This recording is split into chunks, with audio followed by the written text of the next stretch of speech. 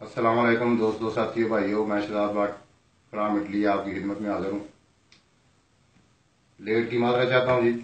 اور آج میں آپ کو سردیوں میں کبوتروں کو دینے والا پانی بتاتا ہوں، جو بہت ہی آسان ہے اور آپ کے کبوتروں کے لیے بہت مفید ہے۔ ان کے ہاضمے کو ٹھیک رکھے گا اور ان کی ہیٹ کو برقرار رکھنے کے لیے بھی ان کی مدد کرے گا۔ آپ ایک لیٹر پانی میں ایک چمچ اجوائن، جو چار جوائنیں کہتے ہیں جسے ایک چمچ زیرہ، ایک چمچ سونف ہاتھ پہ مال کے پھینک دیں اور اس کو بوائل ہونے دیں۔ اس کے بعد آپ اس میں تھوم کی دو تلیاں پھینک دیں۔ دو تین موٹی لاچی اس کے ساتھ لونگ چار پانچ اور کالی مرچ چار پانچ دانے اس میں پھینکیں۔ دال چینی کی دو تین اسٹک ضرور پھینکیں اس میں۔ تو یہ چار پانچ منٹ بوائل ہونے کے بعد اس کا رنگ بھی چینج ہو جائے گا، اس میں خوشبو آنی شروع ہو جائے گی۔ جب اس کو ابالا آ رہا ہو، تو آپ ایک پودنے کی گٹھی لے لیں، اس کو اس میں پھینک کے ڈکن اوپر رکھ دیں اور آگ بند کر دیں۔ پندرہ بیس منٹ یہ پڑا رہنے دیں، پھر اس پانی کو نتار کے کبوتروں کو پلائیں۔ اس میں کوئی بھی پانی مکس کرنے کی ضرورت نہیں، آپ دن، ایک دن صرف یہ پانی ان کو پلا دیں۔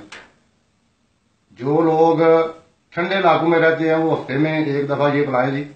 یہ تین مہینے جو ہیں، نومبر، دسمبر، جنوری، فروری، چوتھا مہینہ بھی کر لیں اگر سردی محسوس کرتے ہیں تو۔ جو گرم علاقے کے لوگ ہیں، وہ تقریباً دو دفعہ پلا لیں ان کو ایک مہینے میں۔ اس کے بعد میں آپ کو دانا بتاتا ہوں، جو آپ کو تیار کرنا چاہیے خود۔ تو آپ کو چاہیے کہ آپ باجرا بیچ رکھیں۔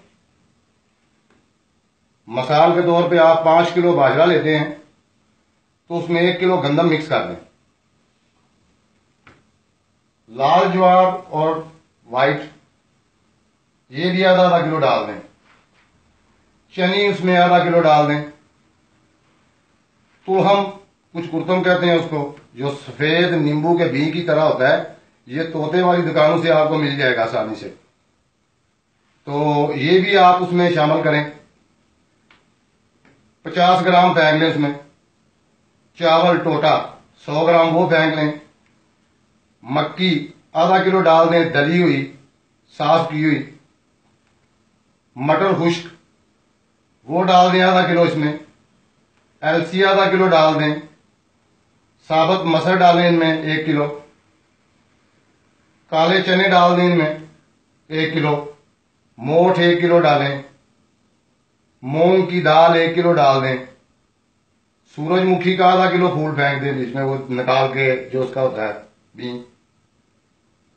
تل ڈال دیں اس میں پچاس گرام۔ تارا میرا سو گرام پھینک دیں۔ کانجی اور سرسوں۔ یہ بھی تقریباً ڈھائی ڈھائی سو گرام ڈال دیں۔ یہ سارا دانا آپ جو ہے مکس کر لیں۔ اس سے یہ ہوگا کہ آپ کے جانور کی غذا مکمل ہوگی۔ یہ ساری چیزیں آپ صاف کر کے یکجا کریں اور کبوتر کو بھوکھا رکھ کے یہ کھلائیں تاکہ ان دنوں میں وہ تندرست رہے اور یہ بہت زیادہ اس میں ایسی چیزیں جو بہت زیادہ آپ کو پریشانیاں ہوتی ہیں، یہ جب اس کی غذا کمپلیٹ ہوگی تو آپ خود یہ جانتے بھی نہیں ہوں کہ کیا کیا اس میں بہتری آئے گی۔ اس کے پر بہت لاجواب ہو جائیں گے۔ یہ تقریباً جو لوگ یہ دانا استعمال کریں گے وہ دیکھیں کہ جیسے انہوں نے پہلے جانور رکھے ہوئے تھے اور جو پہلے ان کی پرورش کر کے ان کو رزلٹ مل رہا تھا، اس دانے کے ساتھ ویسے ہی اس سے بہتری آ جائے گی۔ اور جو حضرات کبوتر اڑاتے ہیں، ان دنوں میں باہر نکال دیتے ہیں، وہ جس دن یہ پانی دیں کبوتروں کو، اس دن احتیاط کے طور پہ کبوتروں کو نہ کھولیں، کیونکہ نقصان ہو جائے کبوتر گرم ہوں گے تو یہ نہ ہوگا کسی کا کبوتر ضائع ہو جائے۔ اس لیے احتیاط کے طور پہ آپ کبوتروں کو بند رکھیں۔ باقی میں ایک درخواست کرنا چاہتا ہوں سب بھائیوں سے کہ میں کام کرتا ہوں جی پندرہ گھنٹے، تو میرے پاس ٹائم بہت کم ہوتا ہے اور بہت زیادہ بھائی مجھے میسنجر اور واٹس ایپ پہ سوال پوچھتے رہتے ہیں۔ تو میں سب کو نہ تو جواب دے سکتا ہوں جی۔ اس چیز کی میں معذرت کروں گا۔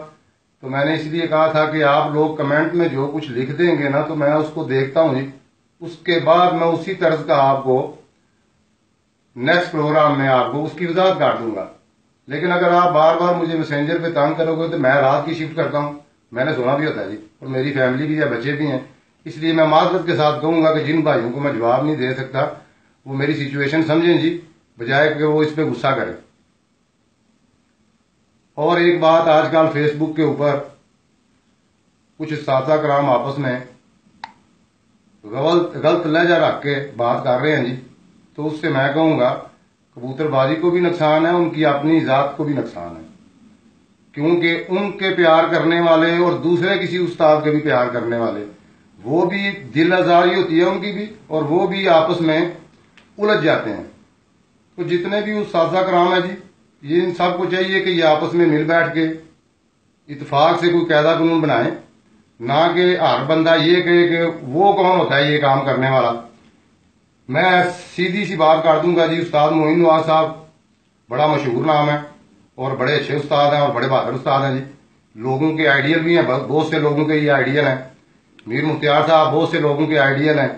تو میں مشورہ یہ دوں گا جی کہ استاد معین نواز صاحب مہربانی کریں اور کوئی اس کا حل نکالیں کٹھے ہو کے بیٹھیں۔ یہ نہ کہیں کہ آپ کیوں کہتے ہو یا فلاں کی استادی یا فلاں کی استادی۔ یہ بلیم بچے کرتے ہیں جی۔ آپ بڑے لوگ ہو آپ بڑے لوگوں کو یہ چاہیے کہ آپس میں مل بیٹھ کے اتفاق سے کوئی قانون بنائیں۔ کوئی بھی ایک یہ نہیں کہہ سکتا کہ میں کروں گا۔ تو ہم بھی یہ کہیں گے جی کیوں سنیں کسی کی؟ ایسی بات نہیں ہے۔ آپ سب بیٹھو جی۔ موین نواز صاحب بھی بیٹھے جی۔ امیر مختار صاحب بھی بیٹھے جی اور بھی پاکستان کے اچھے اور بڑے بڑے اساتذہ کرام بیٹھے اور بیٹھ کے ایک قانون قیدا بنا دیں ان لڑکوں کے لیے۔ نہ کہ جو بھی بندہ یہ بات شروع کرے، دوسرا اس پہ تنقید کرے۔ اور تنقید سے یہ مسئلہ حل نہیں ہوگا۔ ماس وائز کے کہ کیچڑ اچھالا جائے گا ایک دوسرے پہ۔ تو اللہ تعالیٰ آپ کی ذات کو خوش رکھے جی موین نواز صاحب کو بھی اور میر مختار صاحب کو بھی۔ تو میں یہ کہوں گا کہ یہ آپ صاحب بیٹھ کے کرو جی۔ بڑا چھوٹا ہونے والی کوئی بات نہیں، آپ سب ہی بڑے ہو۔ یہ جو پاکستان میں یا دوسرے ملکوں میں یہ لوگ آپ کو دیکھتے ہیں، ان سب کے لیے آپ آئیڈیل ہو۔ تو آپ اس طرح نہ کرو جی ایک دوسرے پہ تومت نہ لگاؤ اور نہ ہی لہجہ خراب کرو جی۔ عزت ایک دوسرے کی کرو، اسی میں ہم سب کی عزت ہے۔ ورنہ یہ شوق پہلے بھی بدنام ہے اور مزید خراب ہوگا جی۔ یہ ٹھیک نہیں ہوگا۔ باقی مجھے کیسر قریشی صاحب ہیں، استاد کیسر قریشی صاحب، انہوں نے میرے ساتھ بات کی تھی اور کہا تھا کہ بہت سے لوگ غلط فہمی میں میری ویڈیو کی وجہ سے مبتلا ہیں، تو وہ مجھ سے خفا ہیں۔ تو میں یہ کہوں گا کہ جب انہوں نے کمنٹ میں بھی لکھا تھا کہ میں وضاحت تھوڑی سی کر دوں گا، تو جی وضاحت میں یہ کر دوں گا کہ میں نے یہ کہا تھا کہ بلڈ لائن، تو اس میں کوئی شک نہیں جی۔ حکیم نوید نظامی صاحب جو ہیں، ان کی بلڈ لائن بہت اعلیٰ ہے جی۔ سید اسد محمود، ان کی بڑی اعلیٰ ہے جی۔ یہ جو اللہ آپ کا بھلا کرے جی میاں نذیر، پارٹی ہے ان کے پاس بڑے اچھے بلڈ لائن ہیں جی بڑے اچھے کبوتر تیار کیے ہیں انہوں نے جی۔ استاد صحیح بھٹی صاحب ہیں جی ان کے بڑے اچھے کبوتر تیار ہیں جی۔ کبوتر بہت زیادہ لوگوں نے بڑی اچھی بلڈ لائنیں تیار کی ہیں اور ان کو یہ جو نام دیا ہے، یہ آئی فلائر کی مختلف لائنیں آپ نے تیار کی ہیں، نہ کہ آئی فلائر چینج ہو گیا رہے گا یہ آئی فلائر ہی کیٹاگریکلی انٹرنیشنل لیول پہ اس کو آئی فلائر ہی بولا جائے گا۔ ہاں آپ لوگوں سب کو شابش ہے کہ اچھا بلڈ تیار کیا ہے اچھا خون تیار کیا ہے۔ اس میں کوئی شک نہیں اور انہوں نے جو نام دیا ہے، وہ اسی نام سے جانا جائے گا کیونکہ یہ اس کی پہچان ہے۔ ٹھیک ہے جی؟ باقی یہ نہیں ہوگا کہ ٹیڈی ایک جو ہے، نسل ہے اور کوئی گولڈن اور نسل ہے۔ نہیں، یہ اور اور نام ہے، لیکن یہ نسل وہی ہے۔ اور جس نے جتنی بھی اچھی بنائی ہے، اس کو اتنی شاباش ہے۔ تو اللہ تعالیٰ کی ذات آپ سب دوستوں کو خوش رکھے جی۔ میں کوئی نات فاقی والی بات نہیں کہی۔ اور کوئی ایسی بات نہیں کہی جس سے کسی کی دلداری ہو۔ اگر کسی کی دلداری ہوئی ہے، میری کسی بات سے، میں اس میں معذرت کر لوں گا جی کیونکہ میرا کوئی مقصد نہیں ہے۔ اور میں یہ فیس اللہ اس لیے کہتا ہوں کہ یہ کچھ چھوٹے بچوں کے عقل میں بھی بات آنی چاہیے۔ بڑے لوگوں والی بڑی باتیں ہوتی ہیں، لیکن بڑی باتیں ایسی ہیں جو ان چھوٹے بچوں سے شیئر کریں گے تو ان کو پتا چلے گا۔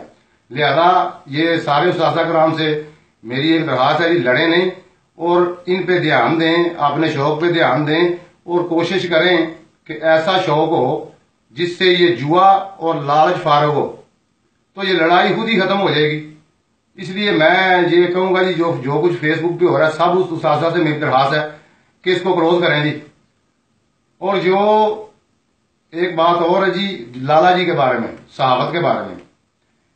یہ جو، جس نے جو بھی کہا، میں اس پہ بھی نہیں جاتا جی۔ میں یہ کہوں گا کہ یہ جو صحافی حضرات ہیں، سارے ہی بڑے محترم ہیں۔ ان کی وجہ سے سب لوگوں کو ایک دوسرے کی بات کا بھی پتہ چلتا ہے، کبوتر بھی یہ دیکھتے ہیں ان کے شوق کو پذیرائی ہوتی ہے۔ تو یہ حضرات صرف یہ دھیان رکھے کہ جب کوئی ان کو پیسے دے کے کہہ رہا نا کہ میں استاد ہوں تو یہ تحقیق کر لیں کہ کیا وہ استاد ہے۔ میں ایک فیچر لکھواتا ہوں تو یہ تھوڑی سی تحقیق کر لیں کہ کیا اس فیچر میں سچائی بھی ہے۔ تو یہ بس تھوڑا سا اس بات کا دھیان رکھ لیا کریں۔ اور ان کے ساتھ کوئی بھی بندہ جی کچھ ان کو کہنے سے، لالا جی تو ویسے ہی بڑے محتبر اور محترم انسان ہے جی میں کہوں گا بزرگ ہیں اور ان کی خدمات، یہ شوق اس طرز پہ چلا ہی تب تھا جب لالا جی نے لوگوں کے گھروں میں جا کے فلمیں بنا کے چلانی شروع کی تھی۔ اب میرے اور بھی محترم ہیں، حبیب صاحب ہیں کامران صاحب ہیں، اور بھی بہت سے لڑکے آگے ہیں۔ تو میں کہوں گا سب کا احترام اپنی جگہ پہ۔ لیکن لالا جی نے یہ راہ دکھائی جی تو میں تو نہیں آج تک دیکھا کہ کبھی کسی کسی جگہ پہ جا کے لالا جی نے کوئی کسی کی لڑائی والی چڑھا دی ہو۔ اگر لڑائی بھی ہوئی ہے تو وہ بندہ تو بیچ میں آ کے سب کو یہی کہہ رہا ہے کہ یار لڑو نہیں، عزت کرو۔ تو اس لیے جی لالا جی زندہ باد۔ اور جو لوگ ان کی مخالفت کرتے ہیں، میں ان کو بھی یہ کہوں گا جی خدا کا خوف کھاؤ اور تھوڑا سا ان پہ رحم کرو۔ کیونکہ ان کا اتنا قصور نہیں ہے جتنا آپ بتا رہے ہو، ادھر بھی قصور ہم لوگوں کا اپنا ہے۔ ہم کبوتر بات جھوٹ کی بڑی گھر کر رہے ہوتے ہیں اور ان کو بتا رہے ہوتے ہیں، ٹھیک ہے کہ ان کا اگر روز معاش وہی ہے، تو انہوں نے تو ایک کام کرنا ہے۔ اب یہ بھی تو دیکھیں کہ کیا کیا کون رہا ہے؟ کیا کہہ رہا ہے اور کون کہہ رہا ہے؟ اور اگر کوئی بندہ یہ جانتا ہے کہ وہ غلط کہہ رہا ہے، تو اس کو ادب احترام کے ساتھ ہی کہہ دینا چاہیے جی آپ جھوٹ بول رہے ہو، یہ بات اس طرح نہیں ہے، اس طرح۔ اگر یہی باتیں گالی گلوچ کے ساتھ ہوں گی، تو یہ سارا ماحول خراب ہوگا۔ خاص طور پہ یہ جو استاذہ کرام ہے کیونکہ یہ آئیڈیل ہیں۔ ان کے لڑنے سے نیچے ہزاروں ان کے چاہنے والے آپس میں لڑ جاتے ہیں جی۔ اس لیے یہ تھوڑا سا خیال کریں۔ اور جذباتی ہیں میرے بھائی معین نواز صاحب۔ تو میں ان سے یہی کہوں گا جی وہ شیر ہو آپ جی شیر ہو۔ لیکن جی، یہ کہ تھوڑا سا خیال کیا کرو جب آپ کسی کو کچھ کہتے ہو جی۔ کیونکہ آپ بڑے استاد ہو، آپ عزت کے قابل ہو، قابل احترام ہو۔ اور استاد میر مختار صاحب بھی جی عزت کے عزت کے قابل ہیں، وہ بھی قابل احترام ہے انہوں نے کوئی ایسی بری بات نہیں کی جس کا اتنا غصہ کیا جائے جی۔ آپ ایسا کرو، آپ ان سب کو بلاؤ جی۔ آپ کے پاس چلے جائیں سارے۔ مل بیٹھ کے فیصلہ کرنا ہے نا جی۔ تو آپ مل بیٹھ کے سارے ایک قانون بناؤ جی۔ کسی کے گھر جانے سے کوئی چھوٹا بڑا نہیں ہو جاتا کوئی بھی کسی کو یہ شرف دے جی۔ اس لیے میں پھر کہوں گا کہ اگر میری کسی بات سے کسی کو تکلیف ہوئی ہے یا دل داری ہوئی ہے، میں معذرت کر لوں گا۔ تو اس مسئلے کو سلجھائیں جی۔